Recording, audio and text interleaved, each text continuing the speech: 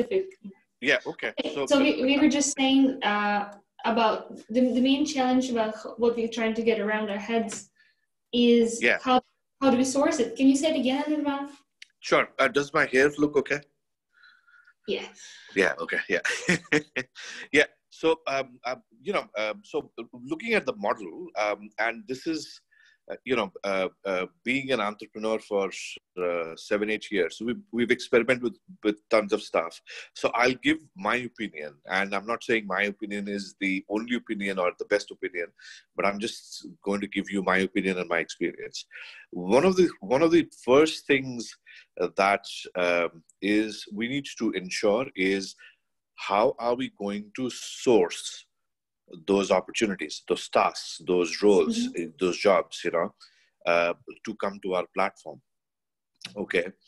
Uh, the second thing is um, how do we control the quality of performance of on those tasks? Which is, let's say, when somebody, let's say, you know, I saw the video and Massimo mentioned about formatting Excel, right? So, so formatting Excel, um, let's say from what you understand versus what I understand versus what the task giver understand, uh, there has to be some sort of a consensus. Okay, so, um, but more importantly, how do we ensure that the quality is not compromised, or at least there's certain level of quality is there? Okay, that's going to be the second one. The third one is going to be how do we um, uh, how do we get people attracted to the platform? Um, meaning, what will it? You know, so obviously they'll have. Um, uh, you know, for for the people, there is an opportunity where they can work, etc., etc. But then uh, the question is going to come in: is how long can you make or keep the platform attractive? Okay.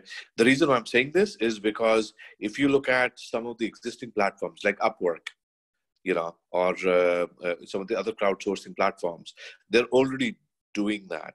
Okay. And they're charging some sort of a fee, right?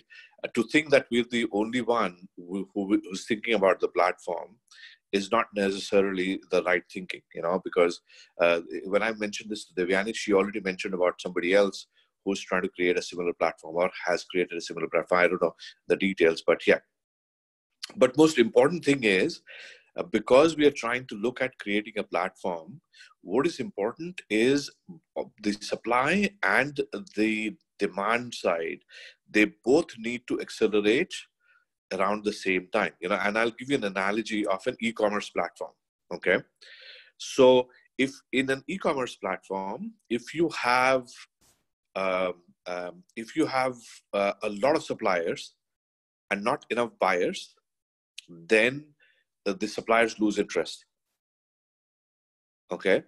On the other side, if you have a lot of buyers and not many suppliers, then buyers lose interest. Okay, so that's why you need to have both of them kind of go hand in hand. So, for example, for the um, so one needs to think of like a beta stage where at least 100 jobs and at least 500 people need to get up the platform before it becomes officially released or whatever, you know. Um, uh, so, so the MVP, the minimum viable product, is going to be extremely important to define and uh, uh, you know so so these these are the things that were coming to my head when i was thinking about it i said you know yes we need to get started somewhere but these are the things that we need to start thinking uh, the moment we start stepping onto the next stage right mm-hmm. Um, I, took, I took some notes about you know basically the questions that you mentioned and the consideration uh, yeah. in the document now. Yeah. Um, one of the thoughts that came to mind is that maybe we don't necessarily want to create a new platform, uh-huh. uh, but more to introduce a new type of offering on an existing platform because this hackathon that we're doing has yeah. about 100 partners. Mm-hmm. Perhaps uh, we, you know, work. Uh, work up or uh, Upwork uh, or something. Some yeah, Upwork. Yeah, you platform. Yeah, is, is already part of it. Okay. okay. there's a possibility. So uh, yeah. I think what we try to focus um, in this uh, in this time frame and yeah. in this team is the concept that there can be new types of tasks for yeah. a new type of uh, person. Mm-hmm. So it is not a long-term job. There's no solicitation process. It is, but that, that is not something that's out there because we had one of the one of the people look.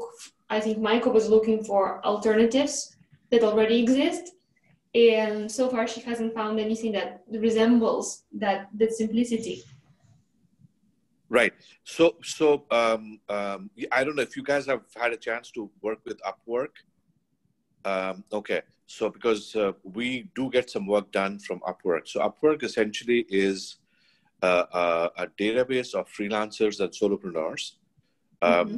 who do tasks, you know, and jobs. Okay. When I say tasks and jobs, meaning uh, a large number of them are kind of roles that can be or tasks that can be done in an hour or two hours or whatever right? Um, and and typically what you do is you go and advertise what needs to be done. Mm-hmm. you post it and uh, the platform throws in some recommendations but you could also do your own search and you may like people. So it's almost like going to a linkedin going through a linkedin search and trying to figure out who is the right person who can do your job you know? So that's how uh, Upwork does. Um, so you have both the advertisements of jobs. So if you are somebody who's an entrepreneur or a freelancer, you can actually go in and look for what are the jobs available, and then uh, you know then apply for it. And then um, on the other side, uh, the people who are posting their jobs also have the opportunity to look at some of the profiles and decide who they want to give. Yeah. So. So basically, we can just use some platform as long as we find a way to make it legitimate. Correct. Right? So the funding mechanism and the reward mechanism is what's important. Yeah. And, but we can, we can, for the sake of a prototype, right? I mean, yeah. Uh, because it would be, it would be ridiculous to reinvent the wheel. Yeah, absolutely. Correct. I, I was, Correct. I was thinking something in the line of a job board. So, yeah. yeah. Um, well, I'm, I'm looking. Yeah. I'm looking at the Upwork site right now, and and indeed, if if we can integrate, you know, they have these little boxes. What kind of talent or agency, whatever, um, you're looking for, or you can offer. If we can introduce one box that says, um, the, the whole point is that if it's if the jobs are given by government, the government can have agreements with uh, with the partners who will provide um, the the reward in kind yeah. Because the businesses cannot provide the reward in kind. And, right. And that's that's basically the main the main uh, essence of right. this whole thing. So that if the government has a fund allocated to um, you know, I mean, have agreements with these partners, and then we just have this extra new box on the Upwork side, which would say uh, government uh, government tasks, and then I would just you know but i i agree with your previous um, the challenges you mentioned previously you know how yeah. do we create those tasks yeah. and how do we agree on the quality i think that that's for the people who will, re- will be recipients that will be the most pressing. yeah absolutely and that's why um, i think uh, you know uh, um, so maybe it's an idea for you to just go through some of the pieces on at upwork and then you know and then we can reconnect you know maybe later in the day to see how, uh, to Massimo's point, uh, how can we already leverage what's there in an existing platform um, and uh, you know uh, instead of reinventing the wheel uh, what you know and upwork is not the only platform there are other platforms as well but um, you know um, just see how they're grading people who are providing services etc um, and uh, you know when will the payment or the thing is going to be released uh, when the submission is done or when the client approves or whatever you know so there is a mechanism there's a whole logic which is there and it's already exists in, in platform like upwork. So so that's something that needs to be done. From our perspective i think the question is going to be that we can be um, uh, um, uh, what is known as in, in this uh, um, in this uh, digital, let's say, uh, area, are we going to be just an aggregator or are we going to also have some sort of a value add? Okay, so meaning aggregator, meaning that we get the jobs and we give it to people and we adjust the platform. So we're just trying to get the two populations on the platform, right? Whereas the value add could be that what is it that we do up and beyond just aggregating know and that's going to be a true value add. And i think the AlterContacts think tank each one of us bring in a lot more let's say uh, a, a, lot of gray cell experience a lot of you know and that's where uh, it could be some sort of a kind of adding on mentoring or helping people getting skilled or something else by which they can not only do the job which is there, but also can do it better. And, you know, so I think that is something we should look at mining. How are you going to mine the AlterContacts think tank uh, beyond the just the aggregation? Mm-hmm. Yeah. So for the sake of the hackathon, yeah. For the sake of the hackathon, we continue as per the process that we have there that is the process using the Jamboard. Yeah.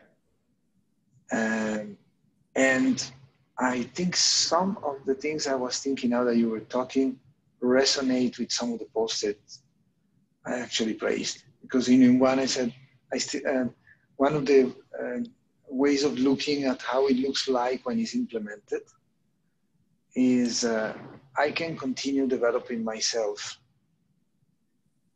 while mm-hmm. I am during the crisis. Yeah. Yeah.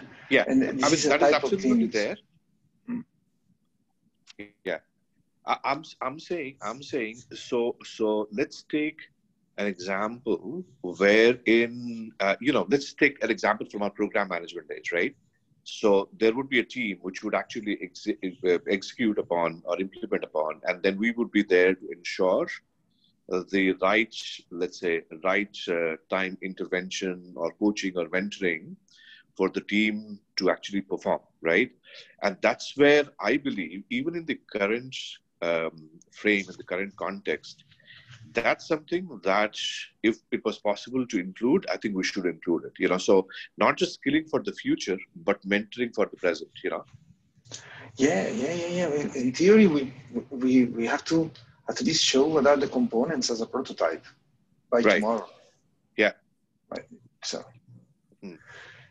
Okay. Um, well, then we just have to continue following up. And, but I think uh, uh, what what you mentioned, Daniel, is is really important as well. I mean, we do need to look. You know, so we, we are focusing on 48 hour hackathon. Uh, yeah.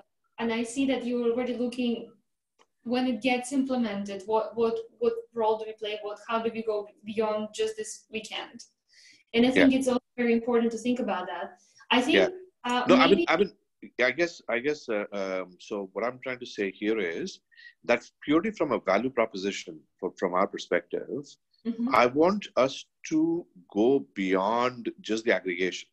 You know, because let's say, let's say, um, at this point in time, uh, we say, yeah, uh, to the government agencies, to the municipalities, the Hemant, saying, you give your jobs to us. We're going to put, the, put it onto this platform and we're going to get the people who are going to do it. Okay. Um, and and so that can be done by um, several other people. I guess a true value add of AlterContacts, and I'm not saying this is not a value add. Don't get me wrong, but what I'm saying is, um, uh, can we do a value add through saying that we'll also mentor it through versus uh, here's a platform uh, that we are suggesting. Mm-hmm. Yeah. And by the okay. way, so I, am not I, trying to put pressure on you guys, like because it's uh, 48 hours, so you can only do so much. Um, but uh, yeah, but yeah but at the end we can uh, clearly we cannot design the whole platform and make it running and you know because we don't have enough time to do the customer interviews. We don't have enough time to to even speak to the government about the aspects of legal you know how legally possible that is. And yeah. But we definitely can place some sort of map with different quadrants and how you know it all fits together and what would be the you know cross sell upsell. And i took a note uh, of what you said. Yeah. Uh, but maybe if, if you have time maybe you can go on daisy lab um, there's a link in the document to daisy labs uh, where where you can actually add the post-its with with those key thoughts which will then integrate, I think. Yeah, uh, and that is the next step in the process. Yeah. Because there's we, Nadia, Massimo, and Fabrizio already participated. I'm in the process, and um, yeah, so that could be a, a more visual board where we work. Right. Yeah. Yeah. Once okay. we have at least five people participating, then we can start adding the, the post-its to the to the second page of the board. Mm-hmm. Right to, to see the actions okay. for implementation. And the instructions to the board is also in, in the document. So there's a Daisy Lab a link and it explains everything in the document. Very simple. Right. Okay. Yeah, I'll do that. Yeah. Thank you very it's much. Nice to, it's nice to see you. Yes. yes All right.